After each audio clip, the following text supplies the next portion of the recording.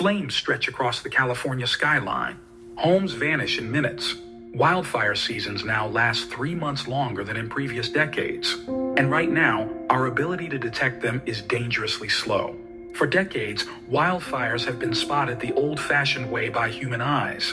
By the time someone calls 911, it's often too late. Small fires turn into megafires, destroying entire communities and costing billions. Air quality is worsening, and the financial and ecological toll is devastating. Wildfires now account for 20% of global greenhouse gas emissions, contributing to climate change while destroying millions of acres of land. This isn't just a crisis, it's the new normal.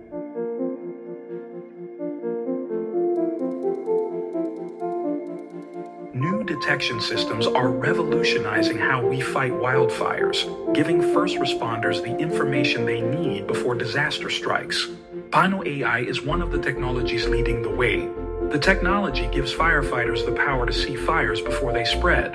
Pano's AI driven cameras and satellite feeds scan the landscape 24 7. The moment smoke appears, emergency teams are alerted within minutes instead of hours. But detecting a fire is only the first step. The real challenge is acting fast enough to contain it. This is where technology is again changing the game. While Pano AI focuses on real time detection, Bellwether ensures firefighters respond faster than ever before.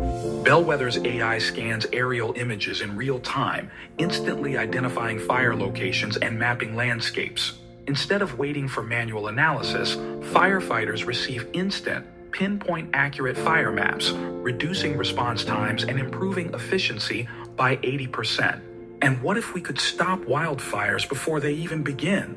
While Pano AI and Bellwether focus on rapid detection and response, OroraTech is looking ahead by using AI to predict where fires will start before a single spark ignites. OroraTech's AI powered satellites analyze historical fire patterns, vegetation, and climate trends to predict the next outbreak before flames appear. It's wildfire prevention, not just detection. For the first time in history, we have the tools to stop wildfires before they spiral out of control. AI powered detection and prediction are working, but these solutions need investment, adoption, and action. State and federal governments, local fire agencies, and emergency responders must invest in these technologies now to save our homes, our lives, and our planet. The time to act isn't tomorrow, it's today.